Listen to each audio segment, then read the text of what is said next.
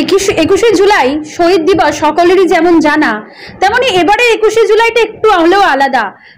সেরামি শাসক দল থেকে বলা হচ্ছে যে এবারে একুশে জুলাই সামনেই পঞ্চায়েত ভোট। সেই পঞ্চায়েত ভোটে যেমন পাহাড় থেকে সাগর, প্রত্যেকটা জায়গায় যেভাবে সমস্ত পঞ্চায়েত তৃণমূল জয়লাভ করেছে সেই রকমই এবারে একুশে জুলাইটা, যার কারণে একটু হলো শহীদ স্মরণ একটু আলাদাভাবেই তারা পালন করবে, এমনটাই তাদের দাবি রয়েছে।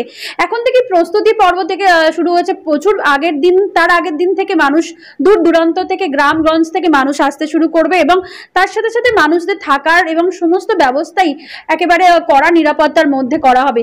তার সাথে সাথে শহীদ দিবস পালনে এই শ্রীরামপুর শহর কীভাবে প্রস্তুতি নিচ্ছে, এখান থেকে কত সংখ্যক মানুষ যেতে পারবে, সমস্ত প্রস্তুতি কীভাবে চলছে, সবটাই বিস্তারে শুনে নেওয়ার জন্য আমরা এই মুহূর্তে উপস্থিত হয়েছি গৌরমোহন দে।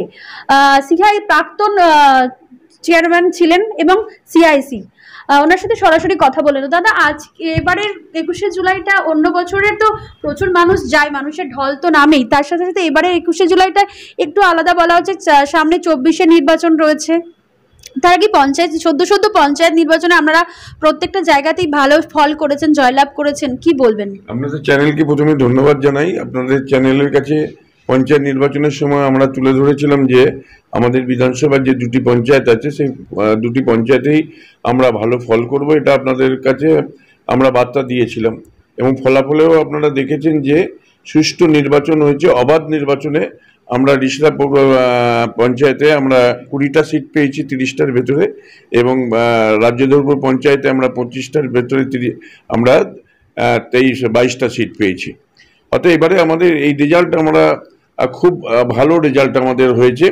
মানুষ, আমরা প্রকল্পগুলো মানুষের দৌড়ে দৌড়ে গিয়ে তুলে ধরেছি, মানুষকে বুঝিয়েছি, মানুষকে বলেছি যে মমতা ব্যানার্জির প্রকল্প, এই প্রকল্পগুলো আপনি সুফল পেয়েছেন এবং পঞ্চায়েতে যে কাজ করেছি, কাজের নিরিখে আপনারা ভোট দিন, অপপ্রচারে আপনারা কান দেবেন না। মানুষ অপপ্রচারকে সরিয়ে দিয়ে তৃণমূলের জোড়াফুলকে ভোট দিয়েছে। ওই পঞ্চায়েতের মানুষদের আমরা ধন্যবাদ জানিয়েছি এবং ধন্যবাদ জানাচ্ছি আমাদের প্রিয় বিধায়ককে। যিনি অক্লান্ত পরিশ্রম করেছেন তার বিধানসভা এলাকায়। এবং একুশে জুলাই প্রস্তুতি হিসাবে আমরা প্রথমেই শাখা সংগঠনের সমস্ত নেতৃবৃন্দ, সভাপতিদের নিয়ে এবং সমস্ত কাউন্সিলরদের নিয়ে আমাদের দলীয় মিটিং আমরা করেছি।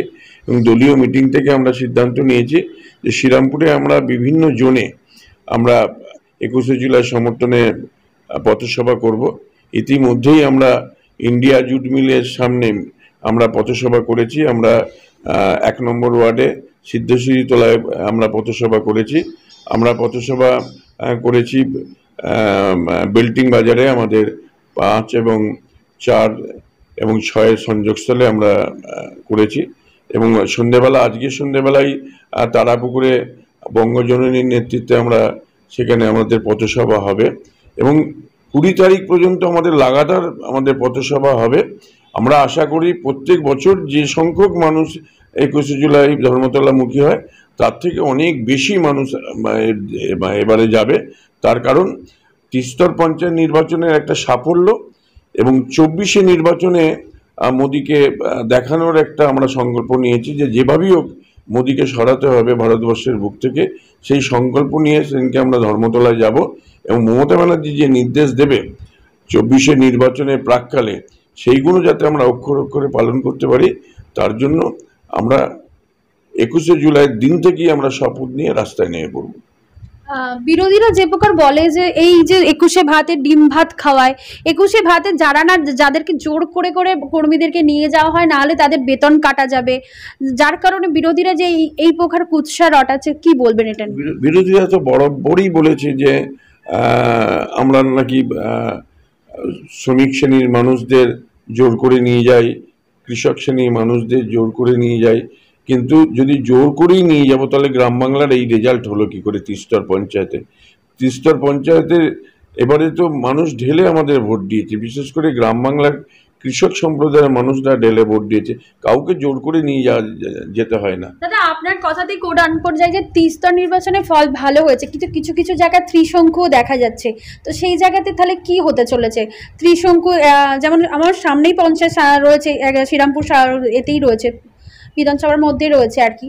তো সেখানে কানাইপুরে দেখা গিয়ে কানাইপুরে আমাদের চোদ্দটা সিট আমরা পেয়েছি। এবং ওখানে আমাদের তিরিশটা সিট রয়েছে। অর্থাৎ বোর্ড গঠন করতে গেলে আমাদের ষোলোটা সিট লাগবে এবং দুজন নির্দল আছে। ইতিমধ্যেই নেতৃত্বরা কাছে তারা কথা বলেছে। তারা আমাদের সমর্থন করলে আমাদের ভোট হবে।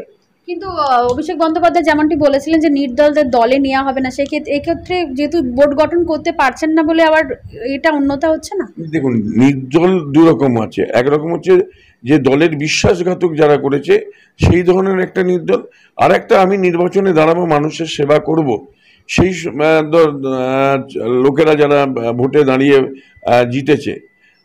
সেই যারা ভোটে দাঁড়িয়ে জিতেছে, অথচ আমাদের বিশ্বাসঘাতকতা করেনি, তাদের দল তাকে, তাদের নিয়ে নিশ্চয়ই চিন্তা ভাবনা করবে। চব্বিশে কি মনে হচ্ছে যে আপনারা কি জোট বাঁধবেন একসাথে লড়াই করার জন্য? দেখুন, এটা বৃহত্তর ব্যাপার। মমতা ব্যানার্জি ব্যাঙ্গালোরে গেছেন।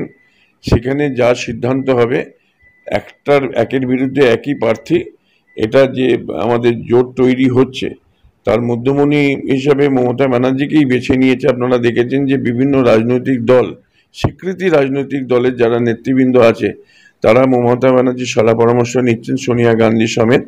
এবং আগামী দিনে যে জোট হবে, সেই জোটের মধ্যমণি মমতা ব্যানার্জি থাকবে।